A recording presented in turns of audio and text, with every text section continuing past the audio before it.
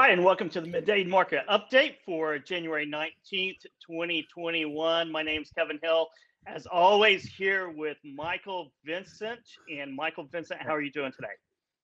I'm doing great, my friend. How are you? Welcome, everybody, to the uh, interactive show twice weekly, right? So, uh, comments, questions, and on uh, what do we got on LinkedIn and on uh, on Facebook channels for yeah, uh, FreightWaves, we'll get those addressed yeah, LinkedIn and Facebook. Uh, throw us your, your, questions, comments, everything else, and we'll take it from there. You can also watch it live on tv.freightwaves.com. Uh, we have an excellent show for you again today, as always, with the news around FreightWaves here. Uh, and if you're not subscribed to our newsletter, go to freightwaves.com and subscribe there for our new newsletter. It should be dropping just about now, but Andrew Cox will take us around uh, around the world in freight waves and shipping and freight news. And then Zach, our director of uh, freight market intelligence, will talk about the freight markets. Uh, Anthony Smith will talk about economics. Nick Austin about the weather, and then we have a couple outstanding outside guests coming in today. Andrew Lockwood from Suddath Global Logistics talking about e-commerce and final mile, and then Hunter Whirley about uh, hiring and recruiting and logistics these days. How do you feel about that, Michael Vincent?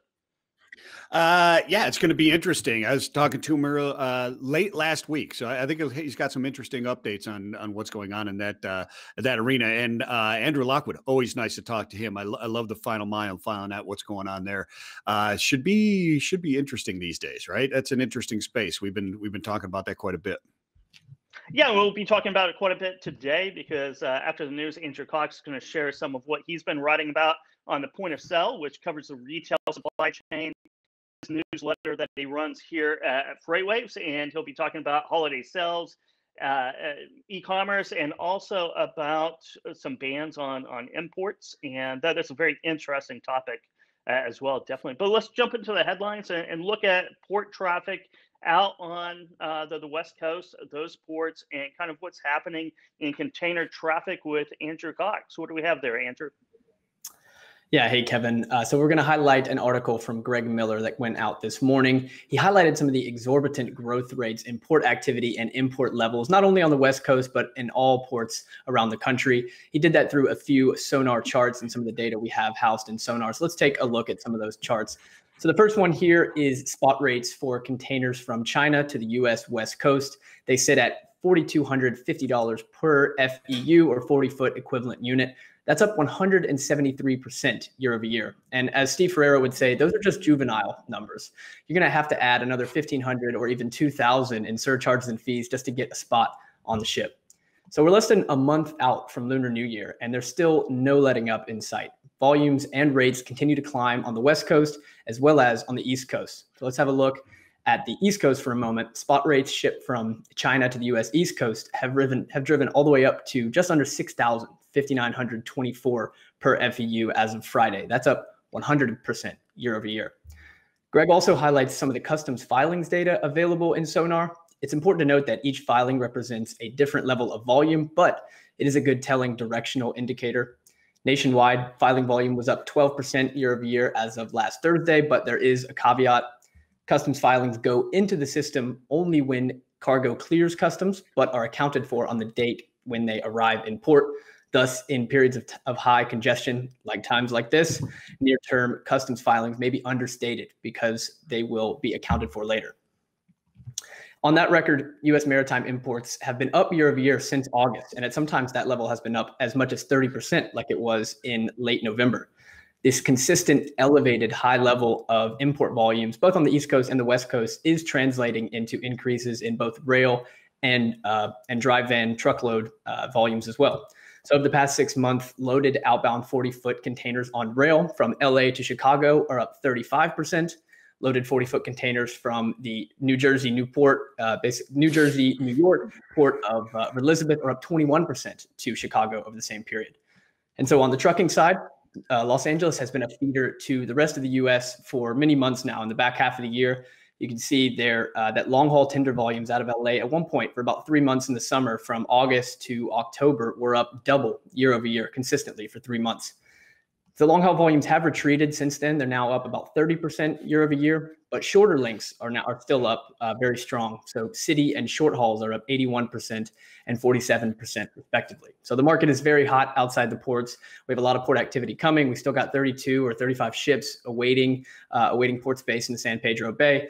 A lot of that is retail freight, uh, and much of it is going to be put into the system here in the next few weeks. So we've got enough uh, inventory restocking and, and a lot of freight coming into the country to keep the industry moving.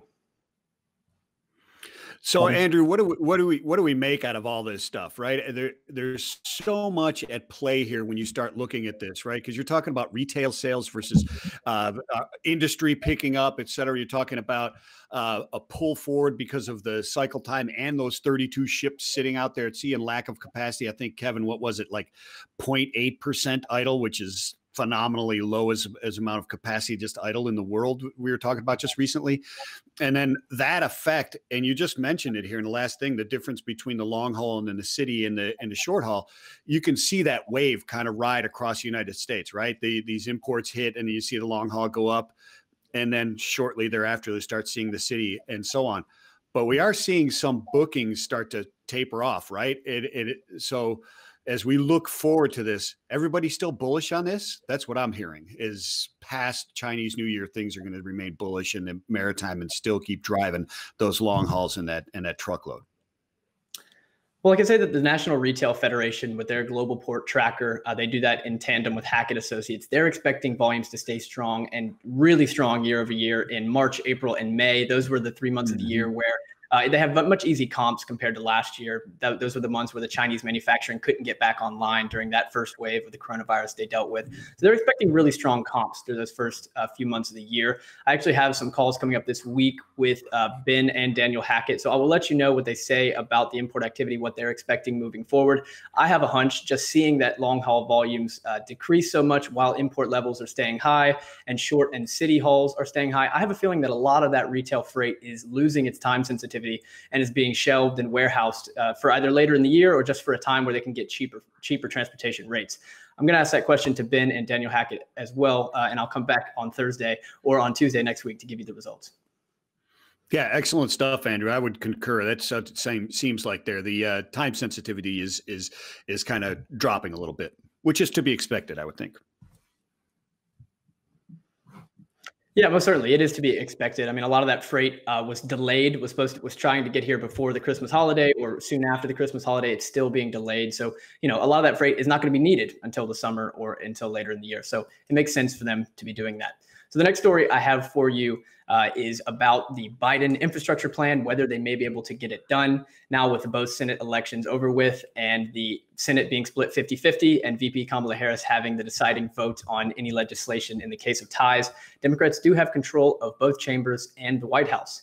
But the, whether the trifecta will be enough to get a long awaited long term infrastructure plan package uh, across the bill uh, is still up for debate next month before a joint session before Congress, President elect Joe Biden plans to lay out his Build Back Better recovery plan that he claims will make historic investments in infrastructure. What parts of the bill may directly affect trucking? Well, we can look at that 2019 bill passed by House Democrats as a starting point. That bill included raising minimum insurance coverage for commercial trucks from 750,000 to 2 million. It also included making driver compliance, safety, and accountability scores, so the CSA scores, making those public. They included public funding for truck parking, as well as automa- automatic emergency braking requirements and stricter standards for side and rear underride guards. There's also another advantage here that Biden has uh, beyond Democrat control of both Congress, uh, both Senate and the House, and that is his Department of Transportation nominee, P- Pete Buttigieg. Mayor Pete uh, will act as the chief salesman for this proposal for both Congress and to the American people. Jeff Jeff excuse me, Jeff Davis, a policy expert at the Eno Center from, for Transportation, said that this is the first time we've had someone acting as a DOT secretary coming in with a significant national following. The Biden admin and the U.S. Chamber of Commerce are pushing for this. The Chamber of Commerce is behind the Biden plan. The group, the group recently launched a Build by the 4th of July campaign to push Congress to get infrastructure legislation done by that date.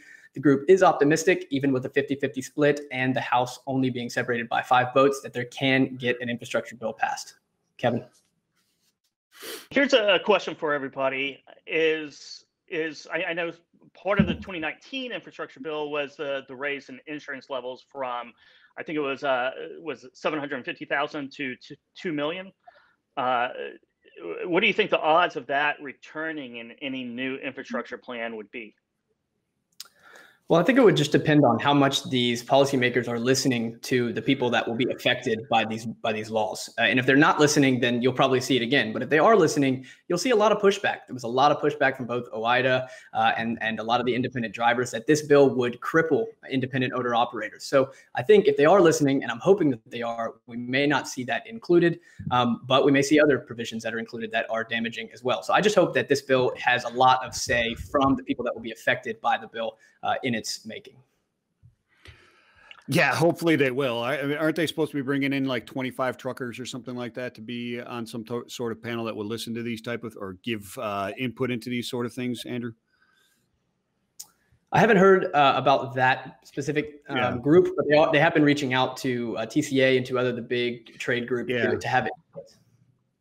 Yeah. yeah. It, it, the other interesting thing is the appetite for those Republicans, if they can get those people to keep them from filibustering on this type of thing, to actually add more spending in a year or, you know, and we've we spent what a couple four trillion dollars on on COVID relief, et cetera, right? So Right. It will be difficult to get those Republicans' appetite for further deficit spending since we've already done so much of it in the past 12 months.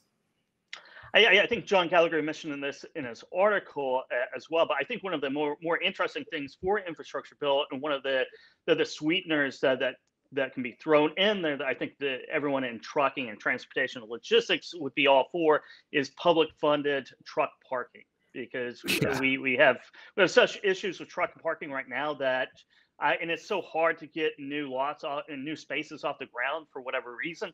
I, I think you know dedicated uh, funding for increasing truck parking, I think, would be a, a winner for for the entire industry. Yeah, I agree. I definitely think truckers would get behind that bill uh, most certainly. I, I remember Seth Holm and I did some just preliminary research on truck parking last year, and we found that there's about five or six drivers for five or six trucks for every uh, one parking spot each night. So drivers are having to take you know a 60 minutes or 90 minutes off of their day just to find parking. That's not inefficient for anybody. So I definitely think that would be behind that. It definitely would. So on LinkedIn here we have uh, Sakuran Singh. Uh, he's a trainee navigating officer. Says, "Keep it up, guys. Uh, good morning from William Rufo, Rufo, uh, Canadian Transportation at Amazon, and then uh, Jake Sohn, uh, business development rep at I believe JB Hunt here.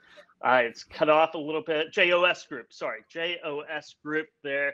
Um, talking about industrials and flatbeds, our, our next article is about Daseke and some changes in leadership there and some future plans for 2021. They're talking acquisitions. Yeah, Kevin, Daseke chairman Brian Bonner said that even though Chris Easter, the CEO that is resigning, will be sorely missed, the company is in a much better shape to handle a departure of this magnitude now than they were a year ago. Over the past year, Daseke has filled out its C suite, including the appointment of Rick Williams to chief operating officer in May. Williams was a former CEO at Central Oregon Trucking, which was acquired by Daseke in 2013. Other roster additions have included filling vacant CFO role with industry veteran Jason Bates and adding chief information officer as well as a chief people officer.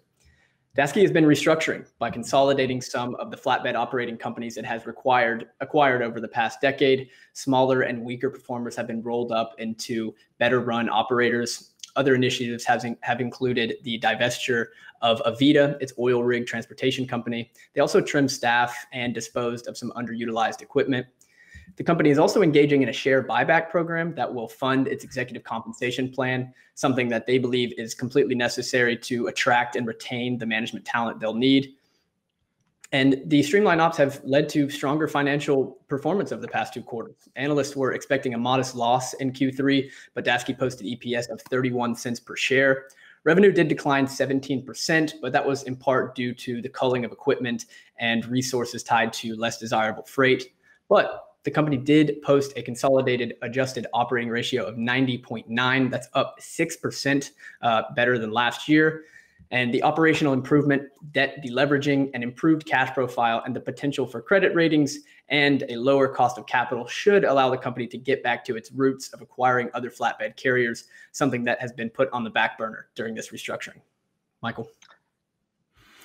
Yeah, it sounds like they've done a, a, a yeah, Easter will be missed. He's done a he's done a great job, right? But uh, obviously, financially, they look like they're they're pretty solid moving forward. Uh, hoping the uh, the economy for them and and for flatbed and demand for flatbed uh, increases, right, or or stays well with the construction. Yeah, it should. Uh, given the the the automotive production that we should have this year, again over easy comps. But I saw Amit Mehrotra from Deutsche Bank is expecting 20% automotive production growth year over year. We also have Boeing uh, ramping back up production of the 737 and the and 737 Max, and you have uh, oil and uh, and refined products that should be uh, up in high demand this year as well over last year. So you have some growth uh, prospects here in the next few months for Daseke on the flatbed side. Yeah, it's it's definitely looking good for the flatbed demand for that market. It definitely is. The infrastructure bill might uh, be a boom for that too if we can get that passed in 2021. Get the industrials up, flatbeds up. Talking about operational performance, capex, you know, all of that, all those financial metrics gets me excited. You know why? It's earning season. Earning season is starting this afternoon, JB Hunt will be reporting after market close, and Todd Maiden will have those initial results out on on freightwaves.com shortly thereafter. But we're going to ramp up. Heartland reported today as well. Um, but, but we're going to, to ramp up, especially on the truckload carriers, the LTL carriers, uh, throughout this week and into next week. We're going to have a lot of action. So it should be. I, what, do you think, Andrew? Um, I, I, think it's going to be a, a really good quarter for for reporting.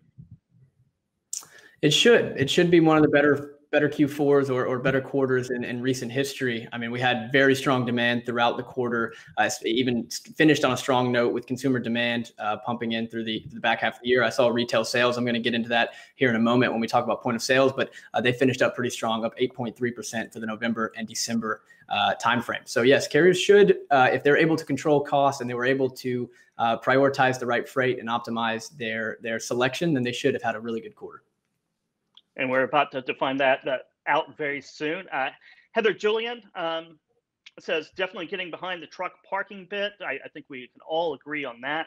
Nico Brown is in the audience uh, too, saying how's everyone doing this this afternoon.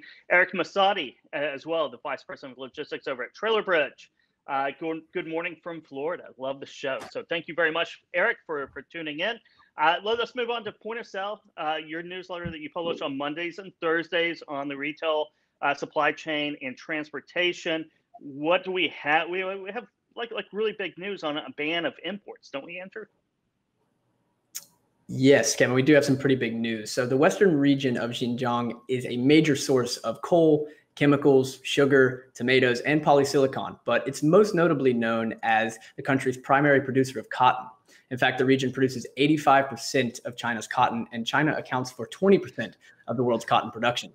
So, after months of mounting restrictions, the Trump administration announced a blanket ban over tomato and cotton products from the region. Uh, and they cited allegations that they were made with forced labor from detained Uyghur Muslims. There's reportedly over a million uh, Uyghur Muslims in the region that are being detained and forced to uh, produce these products. And this ban is robust. Uh, it gives the Customs and Border, Border Patrol the authority to stop imports that they suspect are made with raw materials from the region, regardless of whether they travel directly from China or through a third country, say Vietnam. Apparel experts believe this ban has huge implications for the apparel industry. Scott Nova, the executive director of the Workers' Rights Consortium, a labor rights group, said this ban will redefine how the apparel industry, from Amazon to Nike and Zara, sources its materials and labor. He said that any global apparel brand that is not either out of Xinjiang or already plotting a very swift exit is le- is courting legal and reputational disaster. And this is a huge region for production. It's estimated that American brands and retailers import more than 1.5 billion garments each year using materials from the region, representing more than 20 billion in annual retail sales. And re- researchers have found that dozens of the world's most prominent uh, international companies source from the region, including Apple, Nike, and Kraft Heinz. Several firms like Patagonia and H&M have begun severing ties with the region to avoid and get away from the atrocities, but many others have found it extremely difficult to do so given the lack of supply chain visibility from their Chinese suppliers. For this reason, even groups that believed in the cause uh, of the ban believe that it is too widespread to enforce. But in any case, this ban is much bigger than just cotton tomatoes. It is a call to action for all retailers to better understand their sourcing practices. Mark Morgan, the acting commissioner for the Customs and Border Patrol Agency, said that this order will send a crystal clear message to the trade community know your supply chains. Kevin? Yes, definitely know your supply chains. It's going to be very hard to do, very difficult. Um, but but we'll see how how everyone adjusts going forward. Uh, what about holiday sales? What what update do you have on that? Yeah, Kevin. Despite retail sales declining sequentially uh, from October to November and then again to December over the past the last three months of the year, the 2020 holiday season as a whole was one for the record books. Retail sales during the 2020 November and December holiday season grew an unexpectedly high 8.3% uh, over the same period in 2019. That is that beat the National Retail Federation expectations of about 3.2 to 5.3%. So uh, nearly double the mid-range of that estimate. That 8.3% increase was double the 3.5% average holiday increase over the past five years, including last year, 2019's 4% gain. Included in that data is online and non-store sales, which were up 24% year over year. And there are two takeaways from me from this data. The first is that it's just further evidence of the resilience of the American consumer. Indeed, the stimulus checks and the lack of service spending that definitely padded wallets and allowed us to have extra money to spend in the holiday season, but that doesn't directly equate to spending. Americans chose to spend money on goods that lifted their friends and family spirits in the face of rising transmission from the virus, state restrictions on retailers, and heightened political and economic uncertainty. And then the second takeaway for me is that retailers were really able to influence the how and when shoppers uh, shopped. So, in addition to warning customers to shop early and avoid potential shipping delays, retailers began running holiday sales earlier this year it got kicked off with Amazon's postponed Prime Day to October that created uh, what many analysts call a 75 day peak season. That definitely played out.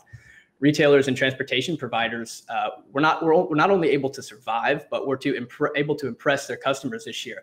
I spoke with Satish Jindel, the president of ShipMatrix, and he told me that UPS and FedEx both posted on time delivery rates in line or better than historical averages this year. And they were only able to do that through transparency from retailers telling people to shop early and, and, inducing them to shop early. And it does seem that those habits are here to stay. I saw a recent survey from Convey that says 44% of shoppers expect to shop earlier this year than they did last year. And my big takeaway here is that transportation providers should be applauding retailers' efforts to induce shopping in October or even earlier. An elongated peak season just means less congestion, fewer delays, better service, and a more delightful customer experience. Kevin? Thank you very much, Andrew. It'll be interesting to see how e-commerce goes through 2021, especially this first quarter. But thanks for that update. And really quickly, if you're not subscribed to the, the point of sale newsletter, how do you, how do you, where, where do you go to, to get subscribed? Yeah, it's really easy. You just go to freightwaves.com slash POS, uh, just your email there, and you can get uh, retail supply chain insights sent to your inbox on Mondays and Thursdays. Thank you very much, Andrew. All right. The point of sale. So, uh, you know, Michael Vincent, let's check in on the weather yeah. real quick with with Nick Austin and see what's uh, out there on the roads today. Hi guys, we're definitely going to have a lot of rough weather for drivers out west. We're talking about the threat for heavy snowfall, some very intense winds and spots as well. So let's get right to it. Here's the Sonar Critical Events map. The Four Corners region is really going to be the focus for the rest of today, uh, especially across southern Colorado. We're also talking about southeastern Utah, parts of northeastern Arizona, and across northern New Mexico. This includes parts of Interstate 40, Interstate 25 as well, U.S. Highway 550, the Million Dollar Highway, uh, which runs from Colorado down into New Mexico. So through the rest of today, high elevations of those mountain areas getting up to another foot of snowfall. The winds will be strong enough to produce some occasional whiteout conditions too. That should all fade by this evening. But then later in the week on Thursday and Friday, some additional snowfall could come back to this region and other parts of the Rockies. No snow out in California, but the San Joaquin and also Sacramento valleys uh, in California, as well as the Sierra Nevada into parts of far western Nevada areas of I-80, US 50 around Lake Tahoe. A lot of these areas are going to see dangerously high winds for the rest of today, some areas possibly tomorrow. In the valleys, gusts of 40 to 60 miles per hour. In the mid-range elevations, 60 to 80, and then gusts of 80 to 100 plus miles per hour in the high elevations of the Sierra Nevada and along the Sierra Crest. Just so absolutely um, just dangerous and really risky for drivers trying to deadhead or carry light loads through this area. Uh, I wouldn't recommend it. Just be super, super careful out there. High winds will also be an issue for drivers in Southern California, particularly the San Diego and Los Angeles metro areas over the next uh, couple of days with wind gusts in the valleys of 40 to 60 miles per hour, up to 80 miles per hour in some of the mountain areas. And there might even be issues for drivers in some of the coastal areas. Uh, but that should again die down in a couple of days or so. Now, stick with us. Later in the show, we're going to have a little fun. We'll talk about a new article that's up on freightwaves.com talking about more worthy weather related and natural disaster related movies overall that truckers uh, can enjoy when they're not behind the wheel. So uh, join us later in the show and we'll talk about a couple of those movies on the list. Wow. Sounds like you should be uh, refusing those uh, uh, potato chip loads and uh, Easter grass, grass loads that cross the Sierras this week, all right? it, it, does sound like that. I wouldn't want to, to be driving an empty trailer through through there. No, no, no, thank you. no, thank you. I'll, I'll, I'll, I'll, stick to I'll stick to reporting it.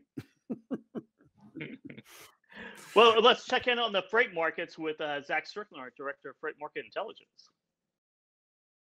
Hey guys, so we're still seeing, uh, you know, significant tightness in the United States. So tender rejection rates still up around 22%. Now, they did drop for the first time uh, in a significant way since about the see tender see tender rejection rates come back down rather rapidly uh, after the holiday as again carriers come back online drivers come back on the road. Uh, they dipped down yesterday below that 22 and a half percentage threshold that we've been looking uh, at seeing a kind of a stable structure forming.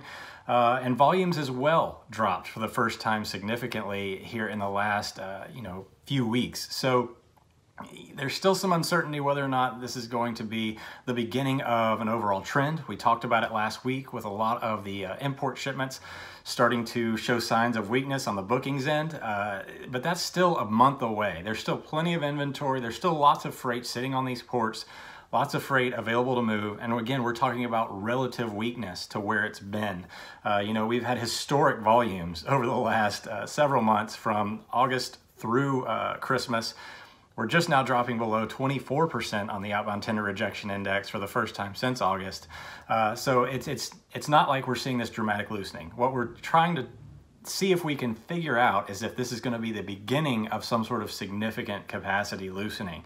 Uh, it does not look like that that's forming just yet. We're still up over 22%, 22.1%, which is the lowest value since it's been around since mid-August. So, uh, you know, there is reason for a little bit of you know, is this going to be the big inflection point or not? But Again, 22% is still an extremely tight market.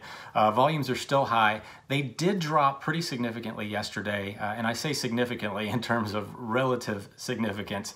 Uh, it hasn't taken this kind of a dip uh, since the you know holiday period when everybody was you know offline, uh, taking a breather. But it's not necessarily a dramatic softening. We're still 38% higher than we were in March 1st of 2018 when the index was created. So uh, we got a long way to go to see any real significant changes to spot rates, et cetera. But uh, a gradual change does appear to be forming, uh, and whether or not this is seasonal or not is still yet to be determined. Uh, there's still plenty of freight, like I said before, left to move. Uh, reefer tightness is still staying on, on par with where it was last week. The van side is the part that's showing the, you know, the softness right now as we move into the latter half of January. Excellent stuff from Zach. And Kevin, I don't know what it's difficult to predict which way it's going right now without some economic input and see what's going on right? You've got chinese new year happening mm-hmm. and and obviously that affects over the road transportation quite heavily uh, and then you're you're watching these volumes come down and and rejection rates come down off of historic highs and they're dropping to historic highs for this for this time of year right? Yeah and they, they and they appear to be following seasonal trends but at a much higher level. So that's, I mean, that's when Zach, you heard him, he, mm-hmm. he paused a little bit there because it's, is it or isn't it, right? Not quite enough evidence to call it that it's softening off of this incredible high, or if it's just seasonality that's moving right now, right? That is exactly right. You, you don't know if it's that, that natural kind of first quarter lull, which is at historical highs, just just like you said, Michael. And we'll have to wait and see. But it is driven by the, the economy and economic Absolutely. production. So yeah, let's check in with Anthony Smith now and and see his take on economic activity here in the U.S. Hey Kevin, hey Michael. So today we're going to talk about two segments that got updated since our last touch point on Thursday, and that's going to be retail sales and industrial production. Starting off with retail sales, we saw that there was a 0.7 decrease from November to December uh, on a month to month basis. This is expected. This is something that we're really anticipating happening towards the end of 2020 going into 2021. But results overall are still up 2.9% year over year. When we peel this number back, it is a little bit more positive when we strip out gas prices, but still we have a decelerating trend overall. Even further looking into some of the more particular segments of retail sales, one that's really been strong throughout 2020, retail sales for non-store retailers, so really getting into that e-commerce side, is going to be down 5.8% on a month-to-month basis. Again, this is still up on a robust level of 24.3% on a year over year basis, but we are seeing some deceleration on one of the strongest points of the economy throughout 2020. Now, again, this is something that we anticipated happening because of one, COVID levels really kind of hampering employment opportunities and regulations that have been put in place. Uh, another one being lack of stimulus um, or meaningful stimulus as of late. Uh, this is something that should be rectified for many going into the first quarter and coming weeks and or month here, likely with the new administration now being confirmed. And three, the other ones coming from employment levels that have really been lackluster, uh, especially towards the end of 2020, as we saw more COVID levels ramping up going into the new year. Um, going into the other segment that got updated, industrial production, we saw that there was an increase of 1.6% in December. So moving in a little bit of a different direction, we were really anticipating more momentum building into the manufacturing sector. So this is right along with our expectations and our projections. Um, however, this is still down 3.6% on a year over year basis. So there is some room for growth here. Again, COVID is going to be a, a, really a big headwind for this segment when we're looking at overall employment opportunities and potentially backlog opportunities right now or precautions right now. So when we're looking at overall industrial production, there is some momentum building. Uh, one of the other areas to be mindful of is going to be commodity prices. That could be a really sticking point for a lot of production going on throughout the year. Those are the two big updates for today, and looking forward to touching base with you guys all again on Thursday, looking at, of course, those initial jobless claims. Thank you very much, Anthony. So crystal clear, right, Kevin? Economic, yeah, crystal clear. You know, just like all economists will, will make it clear as mud, right? Yeah. Um, but but it, it, sounds really good. Let's check in on on e-commerce again. Uh, we have final mile e-commerce from from Andrew Lockwood, senior manager solutions design here at, at Suddath Global Logistics, joining us uh, to talk about what he's seeing in the market. How are you doing today, Andrew? What's going on, guys? Doing really well. Uh, excited to talk about some e-com and some uh, parcel here. Perfect. Well, let's just jump right into it. How was uh, the, the fourth quarter holiday season um, from your perspective uh, with e-commerce and, and kind of the trends that you're seeing? Yeah, I mean, I think if, if 2020 uh, taught us anything, it's to throw the playbook out the window. I mean, you've got the NFL playing every every night of the week. Uh, it just feels like we all live in a laboratory where where everything uh, tested or uh, you know, to, to, see if it'll work. But uh, yeah, as far as fourth quarter, uh, you know, we saw.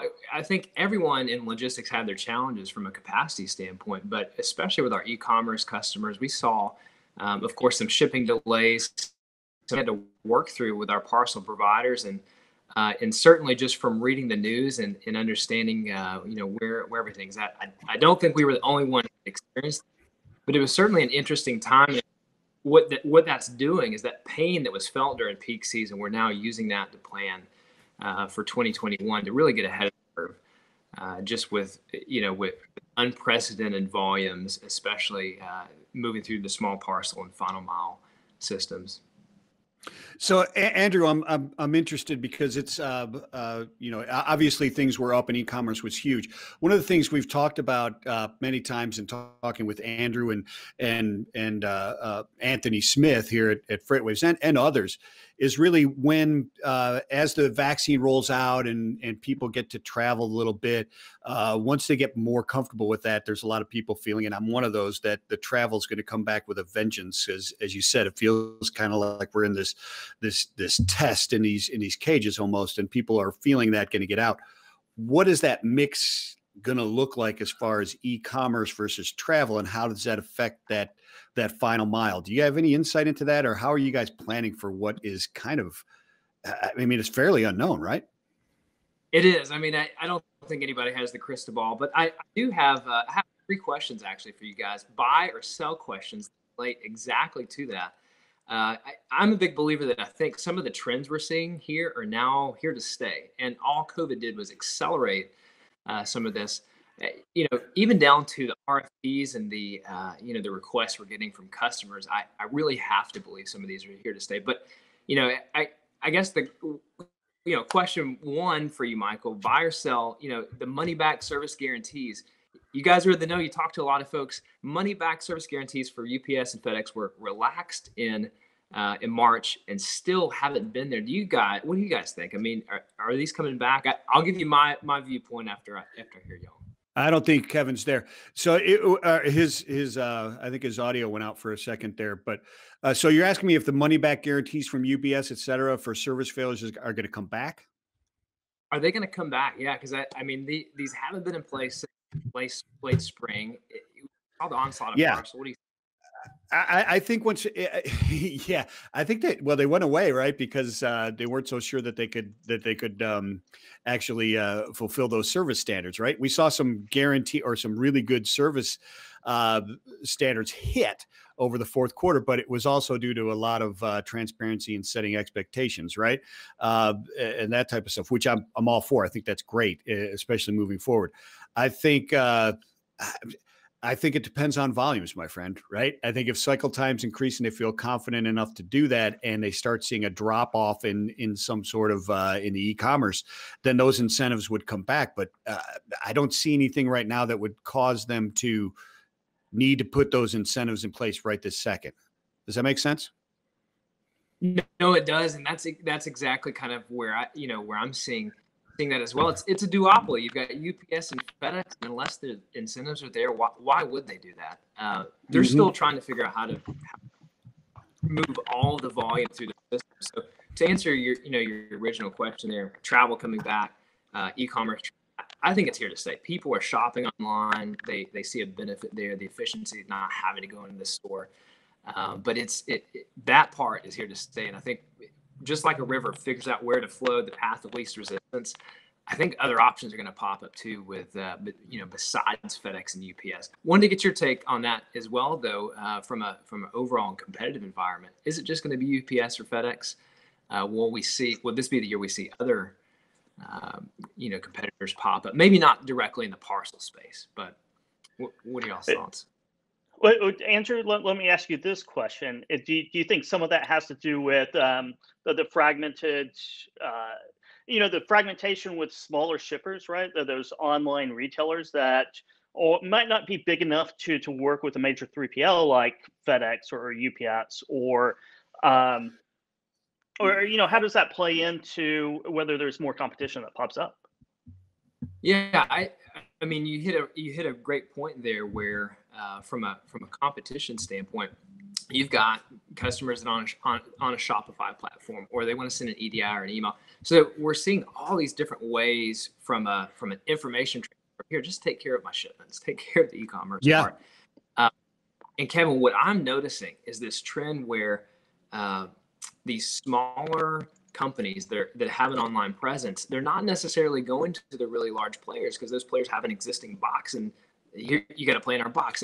Everyone's looking for some flexibility and customization with what that shipping experience is, and because of that, I, I I'm predicting that this will be the year uh, where you'll see some some different competitive um, shipping uh, you know type operations pop up where it's gonna it's gonna provide uh, some opportunities and options in the market that aren't there today. I mean, let's be honest. There's there's been traditional parcel, and now with the, the acceleration of what COVID's brought, I think we're going to see some different things uh, by by next peak season to alleviate that. Yeah, I think you're right, and and you've got, mm-hmm. you know, we've we've seen Amazon and and others, Walmart, imposing uh, these uh, fines for their vendors and actually firing some vendors and changing some things around. So even the competition to get in with these with the uh, the providers and the three PLs uh, is going to step up, and I think there's going to be more people as they solve those those issues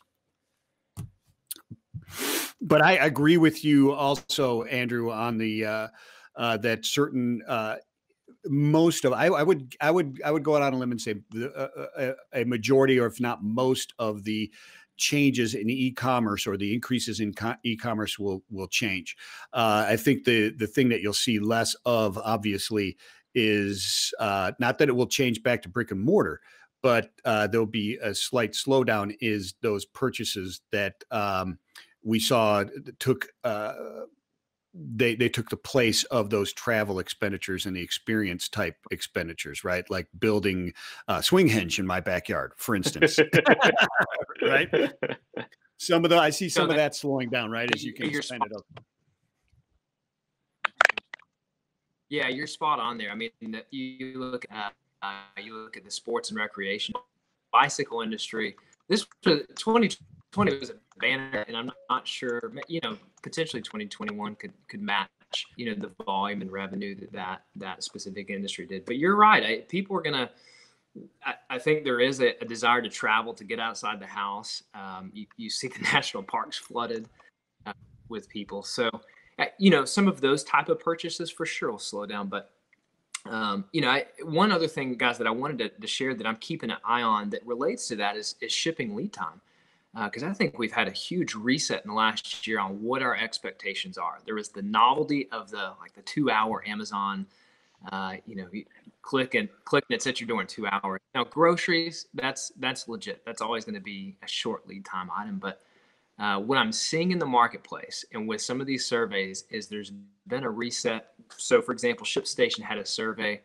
Uh, and that the average number of acceptable lead time days went from five to eight last year. Mm-hmm. So that's one number that mm-hmm. I my eye on is I think folks are getting a little smarter and savvier. They they know that shipping's not free. Um, yeah. And and last yeah. brought that to the forefront. So depending on what you're buying, it could be you know it, it, it, the difference between groceries and let's say a couch. That's that could be an extreme example, but uh, but Michael, I think that that does kind of play. There's this yeah. general. Re- well, okay. Oh, sorry, sorry, Andrew. We're running a little bit short on time today.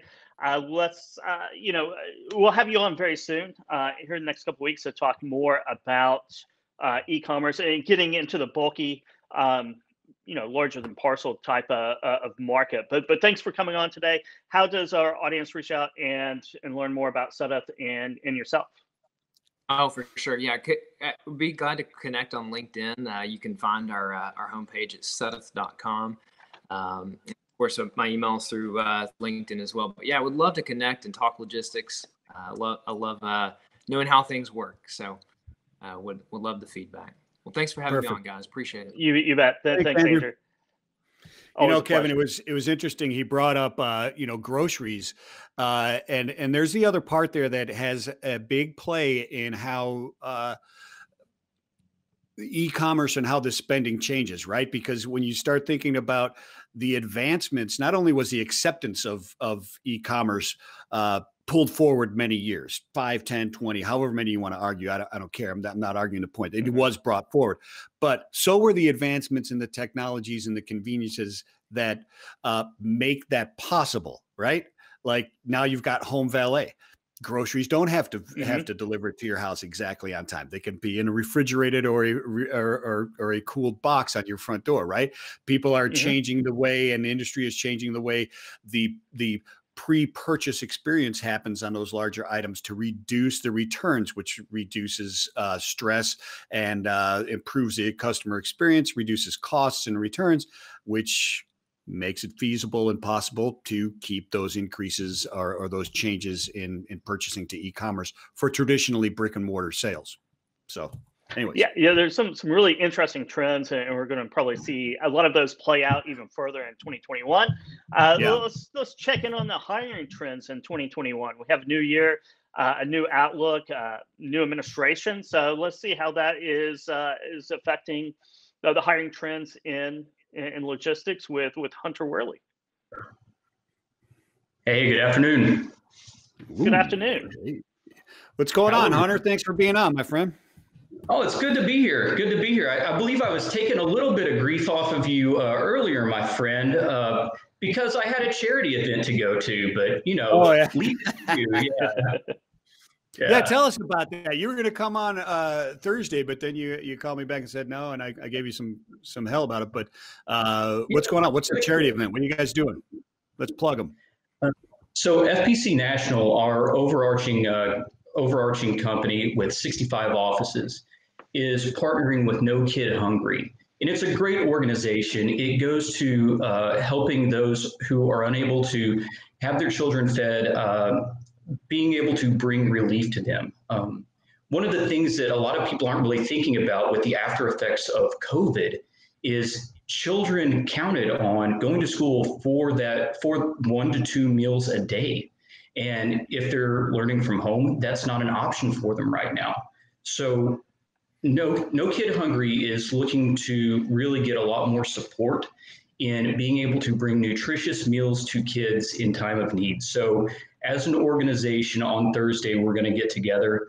If anybody would like to join us in supporting a great cause, look at nokidhungry.org. And there's ways that you can contribute there and learn more about the organization. Yeah, great stuff. And that is something that people don't think of. Uh, we discussed a little bit at the beginning, but then it, you know, things fall out of your view, and it's very, very important. That's a great point. There is a large percentage of children that count on that going to school for for their food, for their food that yeah. day. Unfortunately, but yeah, thank you for that. NoKidHungry.org is that what it is? Yes, yes, really good organization. Beautiful. So, Hunter, what's going on in the world of recruiting, my friend? Uh, well, we've we've seen a large uptick going into Q4. Talking to most of my colleagues across national, it's it's funny. We've we've found some more perceived stability in the market. And you look at the director levels, you look at the uh, vice president level roles coming open. There just seems to be uh, a much bolder stance taken going into Q4 of last year and Q1 uh, 2021. Um, we can't always put our finger on why, but there were a lot of companies that were a lot bolder going into the end of the market or end of the year in the market. Do you see that in a, a, a certain vertical like warehousing or, or, you know 3PL, freight brokerage, asset base? Do you see strength in in, in any of those that outperform the others? Uh, 3PL, food distribution, and transportation have all been very, very aggressive, and you know, common common sense why. Uh, third-party logistics and e-commerce has shot through the roof. Uh, those supporting groceries, food industries, they they have been absolutely busy going into the end of this year, and they're really looking for the senior senior help to help make uh, make their processes and procedures a little bit stronger to carry them into growth modes. So, so Hunter, a lot of people are, have lost jobs or have been sitting around waiting as uh, there's some hiring slowdowns, and now they're picking up that type of stuff. People are looking for those higher level jobs, the C level jobs. You got advice for those people? Are looking for those logistics jobs? What they should they be doing to to help themselves right now? I encourage networking as much as possible, and it's making time. So, whenever you need a job, that is not the time to network throughout your, your normal business day after work, you take some time, reach out to five or 10 new people on LinkedIn or on another site to where you are building your professional network. And one of the things I would say is people will get calls from, uh, from executive recruiters, executive search firms, and they just won't pick up. I've never understood this because if somebody was offering me a role that I make 10% more in base salary, I am looking at a new op- or opportunity, take the call. feel free to say no, it doesn't make sense. But people are still screening their calls very, very, very, very closely. And a lot of times it's just to connect in the network and say, hey, this is what I'm seeing. Michael, I believe that's the way that that's the way that we connected. I saw your background, reached out, and we ended up having a 20 minute conversation just talking about the state of the world. Yeah, absolutely. I, I, I talk to the people about that a lot of times. The importance, and I'm sure Kevin will echo this uh, of of of networking. You know, you we all know those people that they're around when they need something, but then they'll ghost you for for months at a time, right? And you, and right. it's not intentional. A lot of times, you just get busy. You've got to have that mm-hmm. schedule of networking. Kevin. Yeah, you're exactly right. It's it's it's persistence. You you have to, to keep on top of things. Uh, Hunter, what advice would you give to, to people who are who want to connect to four or five different people? Right? Um, what what type of messages or content works the best that you, you've seen in your experience? Hi, this is Hunter Whirley. I noticed I noticed your profile on LinkedIn. Does it make sense for us to connect? Would you like for me to share some market insights that I have been seeing? And you know, no thin skins. Nobody's gonna. I haven't had any people reach out and say, "No, I hate your guts. Don't ever reach out to me again." at, most, it's no, I really don't want to connect right now. I'm busy. It's okay. But here's a funny story. I have a gentleman going in for an interview right now for a director of sales position. I spoke with the president of the company for the last nine months. We've just stayed in contact. And it's not, hey, you got anything for me to work on? You got anything for me to work on? No, it's I want to understand what's going on with his operation. I want to understand his, you know, what what he deals with in the sales side, what he deals with in LTL, because that's primarily where he works. And if I can understand his frustrations and we can talk business and we can talk industry, one day it's going to come down to I know the guy that I have networked with for months. I know a guy who I've built a little rapport with. So whether you're a hiring manager or you are a job seeker, make those connections that make sense professionally that you can you can go back to and say, you know what, I know the one guy that I want to talk to, or lady, sorry. I know the person I want to talk to. And knowing the person that you want to talk to, that's that's uh, it, it really is as simple as that. It is simple as sharing sharing intelligence with people. You share intelligence with people. That, that's how you network, and that's how you, you build the, the, the, the strongest relationships out there. Yes, yes, and somebody who understands your industry. Uh, there are a lot of search firms out there. Look at somebody who understands your industry. If somebody says that they specialize in everything, they do everything, that means they specialize in nothing. The reason why I like working with distribution, logistics, and transportation professionals is I understand a good deal of what they are telling me as I have worked in the industry. I can help them out because if I wouldn't hire someone, I'm not going to put them in front of a hiring authority. It doesn't make sense. It certainly doesn't. You know, I mean, it's it's one of those things. You know, I, I a recruiter once told me a long time ago that you shouldn't really be good at getting a job um, because that means that you have a lot of practice at it. And it's good to, to seek out advice from from professionals like yourself, Hunter. Thanks. And yeah, we like to see that stability.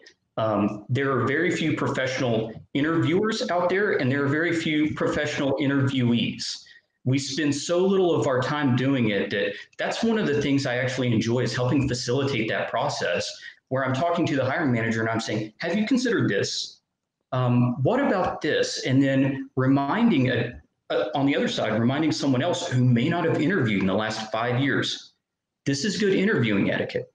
I'm not giving you the keys, you know, the, the keys to success to where you will own it. I am just giving you the basics of this is how um, this is how an interview is conducted.